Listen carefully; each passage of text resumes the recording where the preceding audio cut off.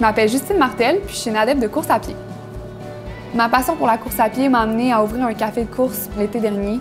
Euh, c'est un café qui rassemble autant les coureurs que les adeptes de café. Aujourd'hui, Lévi Toyota m'a demandé de vous présenter mes deux spots de course à pied préférés près de Lévis.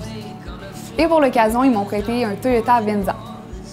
D'abord, je suis allée chercher la voiture chez Lévi Toyota. C'est Danny qui m'a fait faire le tour du véhicule, que ce soit pour le volant chauffant, le toit panoramique, la caméra de recul ou encore tout ce qui est par rapport au Toyota Safety Sense, j'étais vraiment contente que Danny soit là pour me faire un cours en un de toutes les fonctionnalités du véhicule. Et c'est donc dans le luxe que je vous amène avec moi sur la route vous présenter mes meilleurs spots.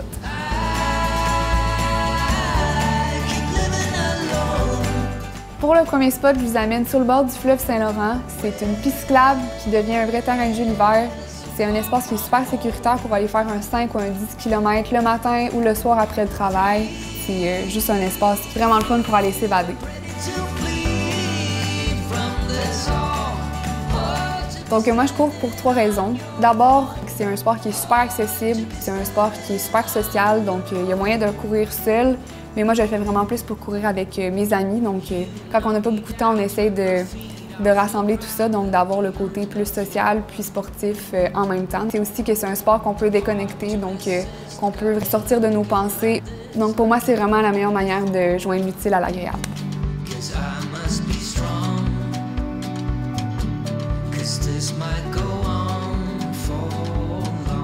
Pour le deuxième spot, je vous amène au lac Beauport, à 30 minutes de Lévis. C'est à la montagne des Trois Sommets. On parle d'environ 350 mètres de dénivelé sur une boucle de 5,5 km. C'est souvent en fait un parcours que je fais les fins de semaine quand j'ai plus de temps pour vraiment euh, prendre le temps d'aller me ressourcer en nature, de m'évader.